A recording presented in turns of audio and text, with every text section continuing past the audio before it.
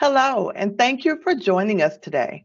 My name is Aretha Lafayette, Program Manager for Research Education Program Development and Outreach in the Office of Research and Innovation. I'm your session MC for today's discussion. Before we begin this program, we would like to make a land acknowledgement. UT Dallas stands on land originally settled and occupied by the Caddo, Wichita, and Comanche people.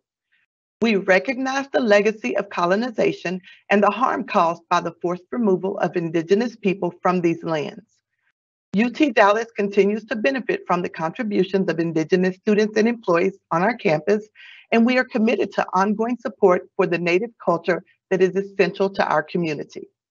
For more information on the history of the land UT Dallas occupies, the Caddo Confederacy, and relevant treaties, please visit the Multicultural Center website.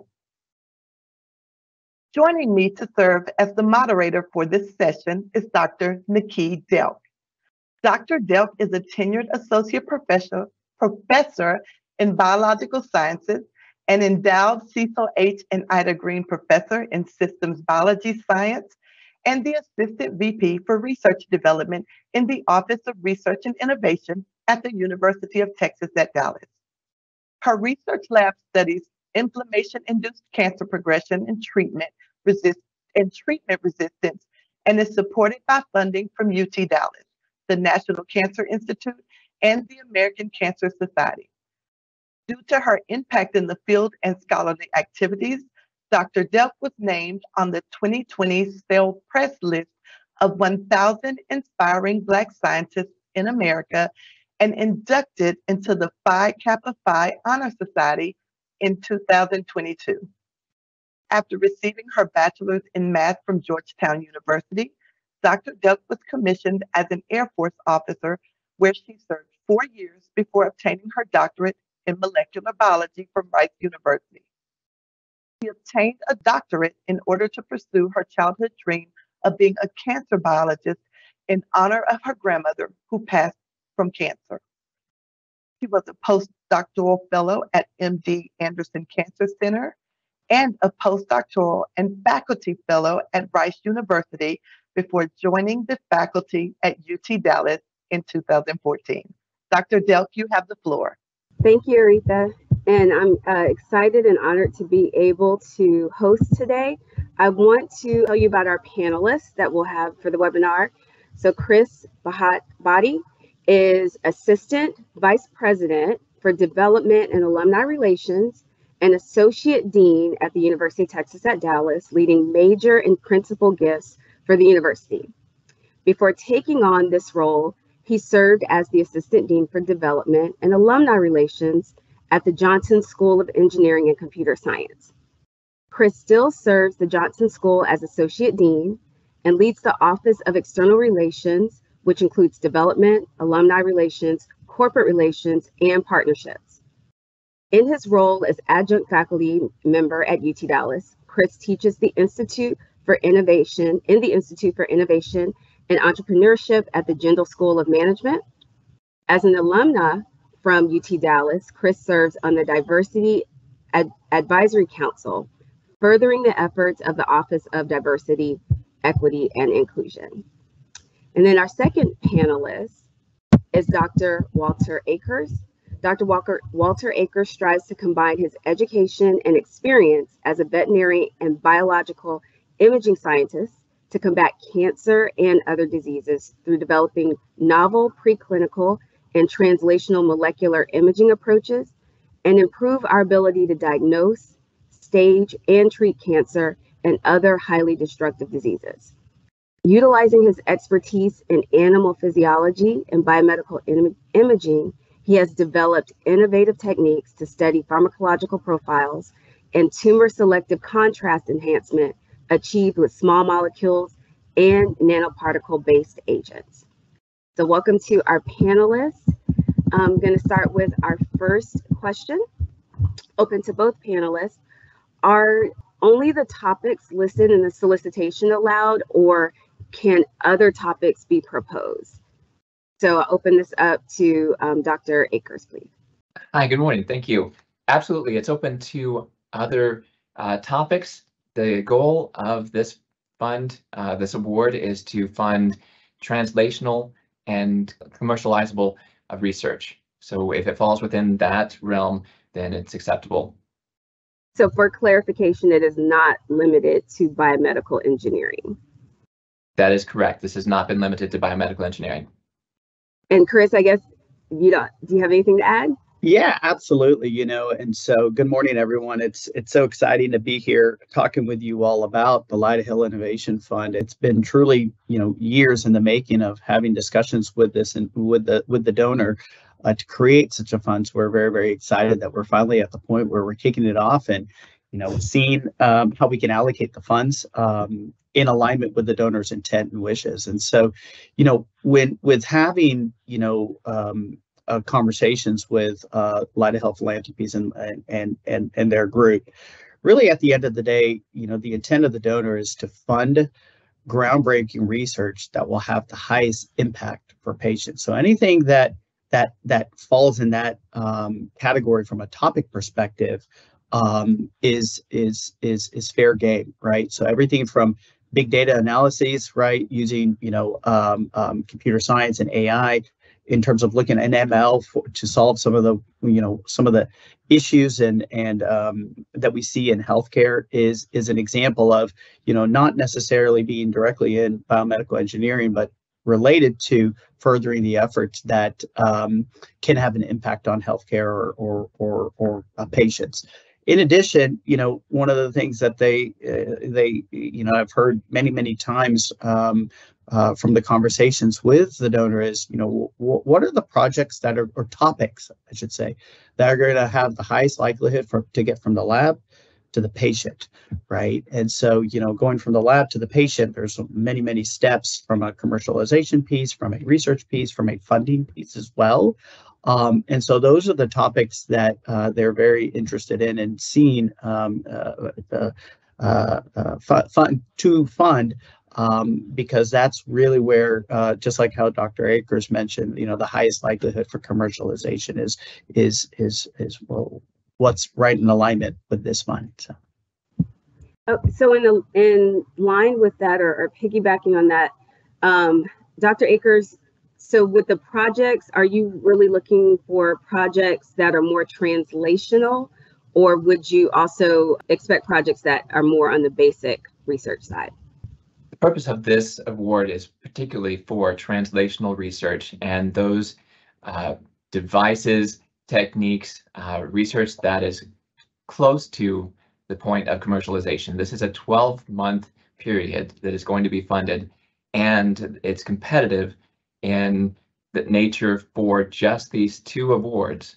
And that part of that competition is really is this technology, is this research close enough to commercialization that it needs this support uh, to get over the hump, to be ready for uh, additional funding through um, SBIRs, STTRs, sorry, that's getting into the next question, but uh, or uh, venture capital funding is that close to commercialization that it needs the support to get through this next year of uh, development in order to be translated and to help people. Because as we all know, uh, the research that we do, uh, basic research into this translational part where, yes, biomedical engineering is uh, often seen as that bridge between basic research and uh, clinical applications.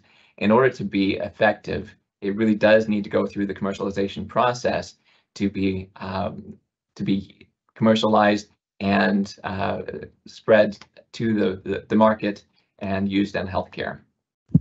Um, and then we also want to uh, emphasize as well as that this um, funding opportunity is a collaboration with UT Southwestern and with UT Dallas. So uh, you need a uh, one co-PI needs to be um, from UT Southwestern, the other co-PI would be from UT Dallas.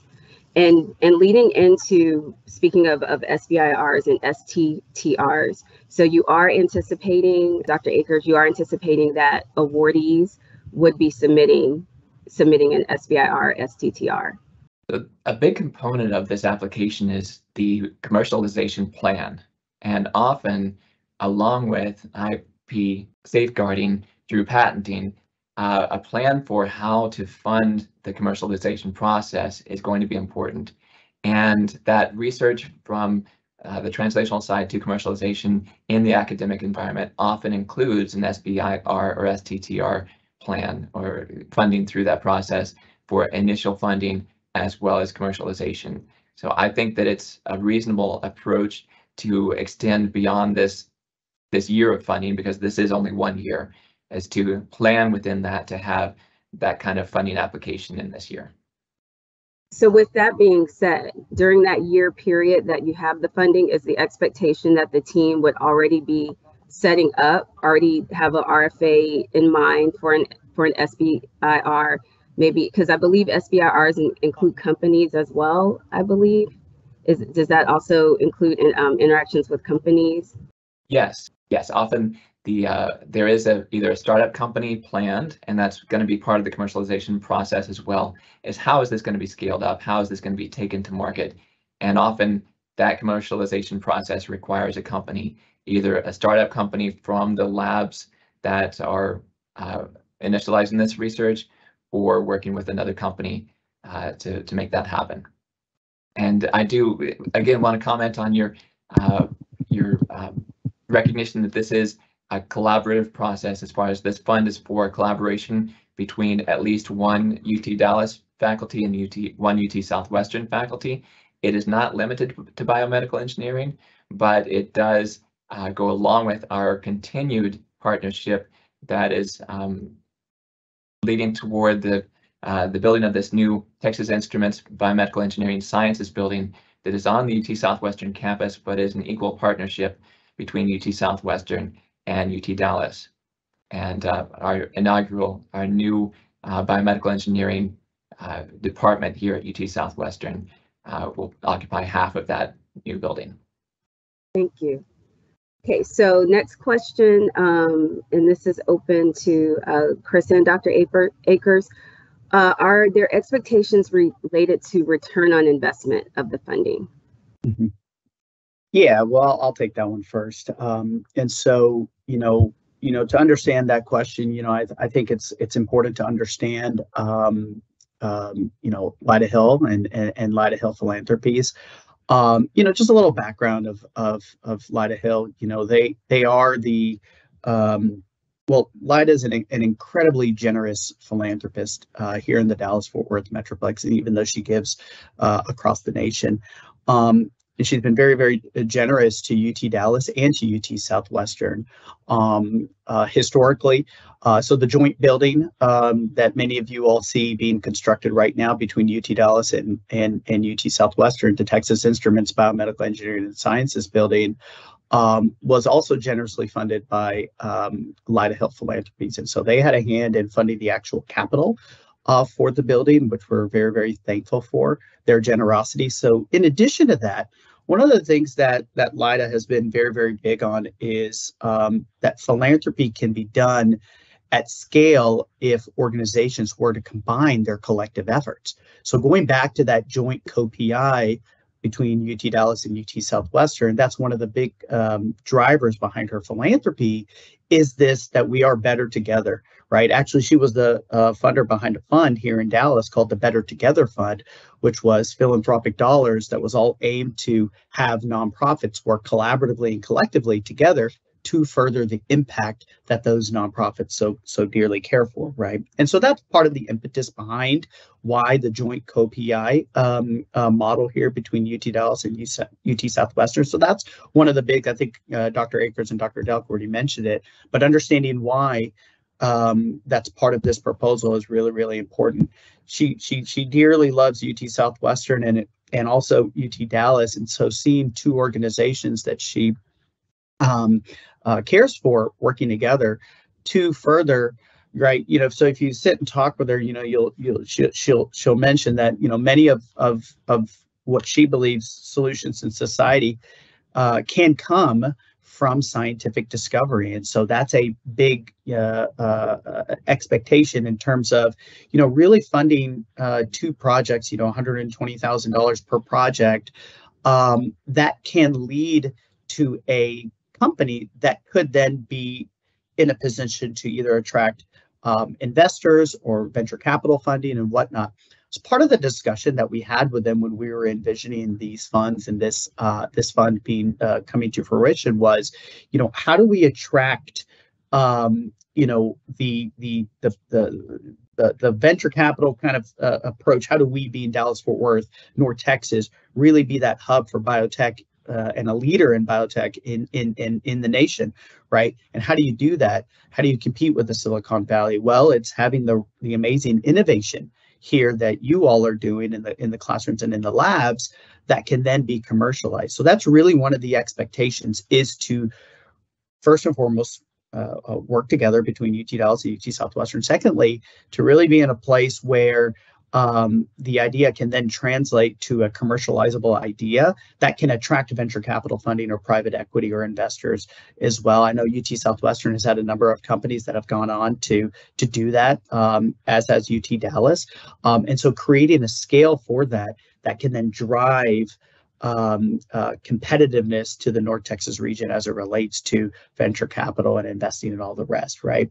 And so that's one of the things. You know, one of the things is is that she, she believes that you know um, you know this idea between philanthropy and and and business is is a is a powerful force right so this idea of how do you scale and, and commercialize um, something that she is philanthropically funding is right in alignment with um, uh, uh, her wishes, right? The the donor's wishes, and then also, you know, really, I'll say a third expectation is really having, um, you know, milestones in progress. This is the initial, the seed to the Lyda Hill Innovation Fund, um, you know, and so these two projects are really going to set the standard on future funding um, from uh, Lyda Hill Philanthropy. So really, this is the seed seed stage, and then as we you know show progress with these two um, projects that are ultimately selected that's then going to um, uh, determine you know you know uh, future funding from this donor based on the progress that these two projects make and so that's um, one of the other things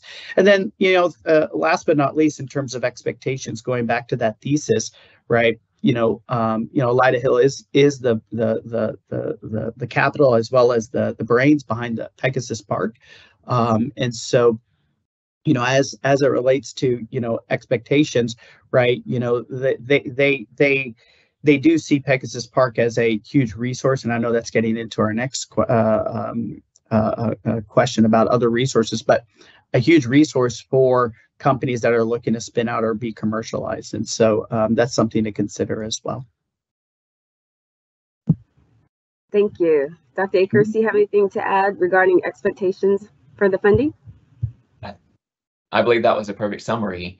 uh, this is research. This is uh, an award for research. And while there are no uh, demands that this is absolutely going to uh, have a product that is going to return money to the either the, the philanthropy or uh, the institutions overall, I know that this will be uh, judged as far as the applications on the potential for translation and commercialization. So that's the expectation is that these uh, hopefully will lead to startup companies or uh, commercializable products that will then foster the uh, innovation hub and biotech hub that we we all hope to develop together here in the Dallas Metroplex. So with that being said, Dr. Akers, how will commercialization be handled since it is joint between UT Southwestern and UT Dallas? Thank you. Well, while this is a new award, uh, UT Dallas and UT Southwestern faculty have collaborated on multiple projects over many years before this. And so the commercialization will be handled in the same way as uh, other uh, funded projects or collaborative projects, and that it needs to be established uh, how this is going to work between the faculty members who are collaborating and have an agreement. And part of that commercialization uh, plan that they have will be this uh, the patenting, the IP protection, uh, who is going to how it's going to be split, and how that's going to work with startup companies that are going to be developed. Uh, so that uh, commercialization process needs to be decided up front and early on, and I think that that should be part of this application. Chris, do you have anything? Oh, I'm sorry. Yeah. Actually, we'll, No. oh, yeah. Yeah, I'll just, you know, I think, um, you know, uh, Dr. Akers said it, um, said it best. So, you know, I, I don't have really too much uh, uh, to, to add other than, you know, like Dr. Akers said, you know, we have been working collaboratively, commercializing, um, uh, ideas between UTD and UT Southwestern. That's, that's been pretty common. And then, you know, as, as, as our offices continue to, to work together, I mean, I, th- I think we have a, uh, um, a context for working together, that idea of collaboration. I mean, even establishing this gift was done in a true joint um, collaborative manner between UT Dallas and UT Southwestern, between our offices of development. And so, as we look to commercialize and work together on on on the actual uh, the projects that are going to consume this funding, I think uh, you know Dr. Aker said it best. So. Thank you. And so, um, with that being said, uh, are there going to be resources to help with the commercialization process since that is one of the expected return on investments from this funding? Sure, I, I, I, Dr. Akers, why don't you go first, and then I can fill in. Absolutely. I know that both institutions have programs to support startup companies and, and commercialization process.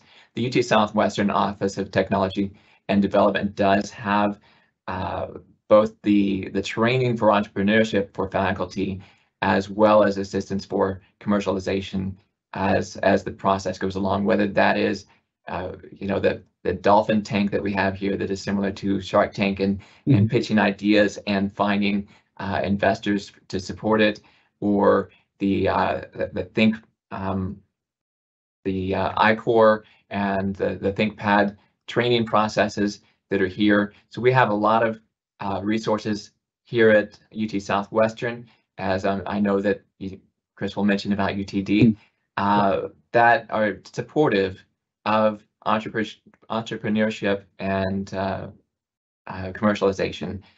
So those those resources are here. They're easy to access. Um, Kara Forsberg in the Office of Technology and Development is um, heading up some of those, uh, but the, the um, uh, there are many resources available, and that uh, commercialization process should consider any of these uh, within the within the application should be considered. And if there are any resources that are needed that faculty are not aware of, they can reach out to uh, you know, here at UT Southwestern, the Office of Technology and Development, um, or, you know, we can help in the department as well uh, through the, the collaborations that are being developed. Yeah, thanks, Dr. Akers. And I'll just speak on behalf of, of UT Dallas. And, um, you know, first and foremost, we, we, we do have a Blackstone Launchpad, as, the, as does um, uh, uh, UT Southwestern as well.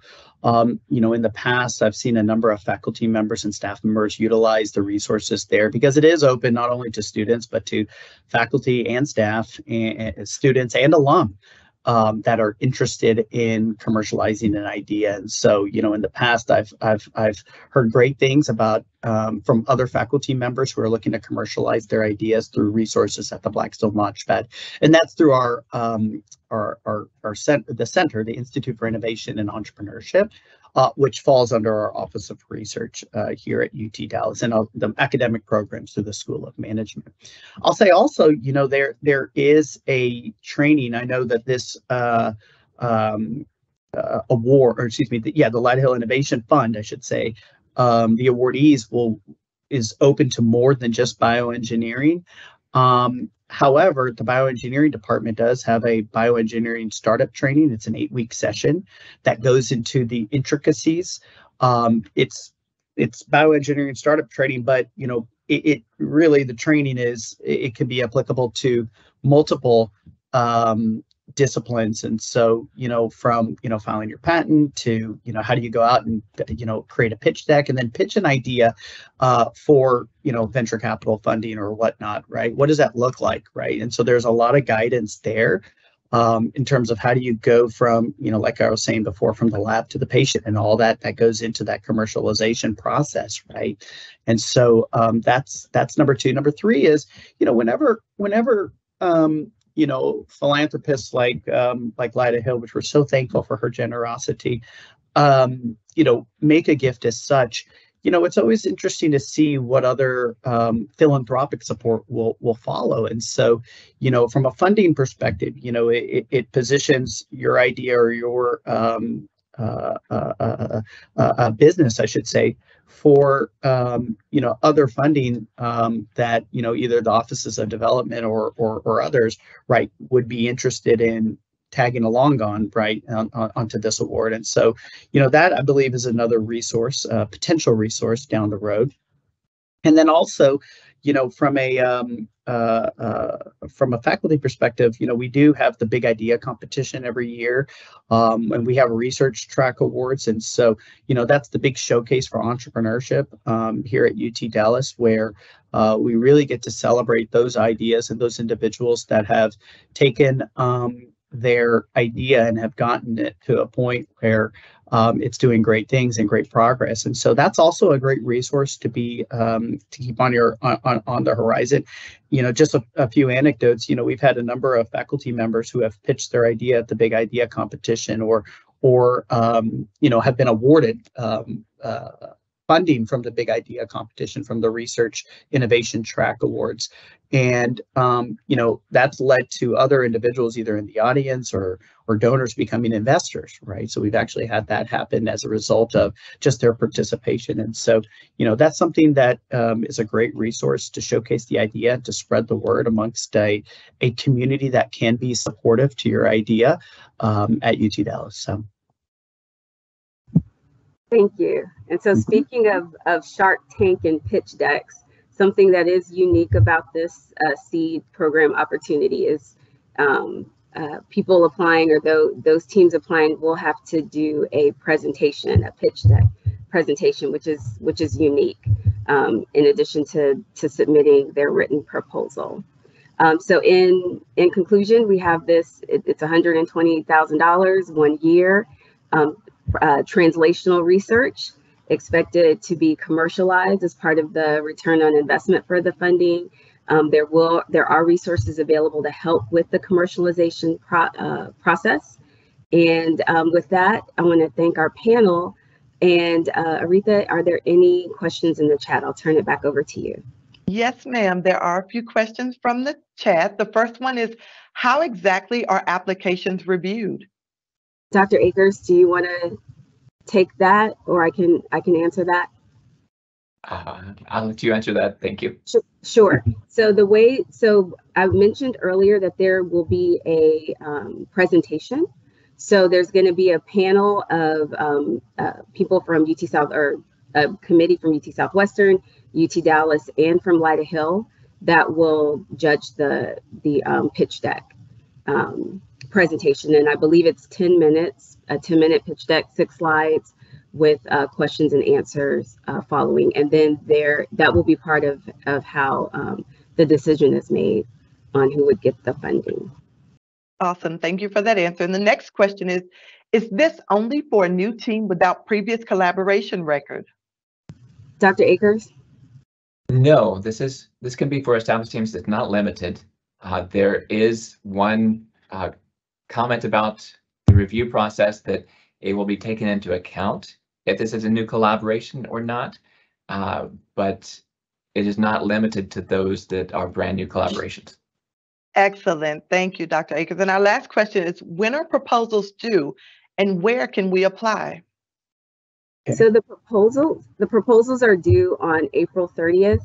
And if you go to the uh, research office, uh, um, I think it's research at UT Dallas. Um, if you go to the research page, click on the research um, tab. Oh, there we go. Is that is that it right there? click on the research tab at the UT Dallas Office of Research. And um, on that tab, if you go under research, under researcher, there is another tab that says internal funding and Lyda Hill pops up under uh, internal funding and it has all of the requirements for the request for proposal as well as what the expectations are should you receive funding. So the deliverables as well as the the um, what's required for the request for proposal. Awesome. Thank you for that. And i did pop that website uh, dr delk into the chat for the Lyda hill biomedical engineer fund overview. I popped that into the chat. Thank you All right, there are no more questions from the audience at this time. Would anyone like to add anything further before we exit? Awesome. Well, a sincere thank you to Dr. Delk and all of today's presenters. We appreciate you taking your time to share your expertise today. And audience, we definitely thank you for joining us as well. Stay abreast of upcoming Office of Research and Innovation programs by following us on social media and subscribing to our newsletter. Please join us tomorrow, March 28th at 12 p.m. as we present our first, our next course in the RCR Professional Series Training, Research Ethics. This information and a polite request to complete a brief survey about today's program can be found in the chat. Thank you guys very much for joining us today.